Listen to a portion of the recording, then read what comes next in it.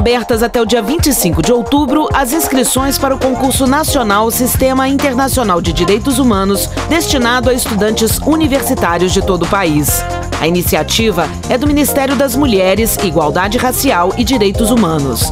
As inscrições são gratuitas e podem ser feitas na página eletrônica da Secretaria de Direitos Humanos em www.sdh.gov.br.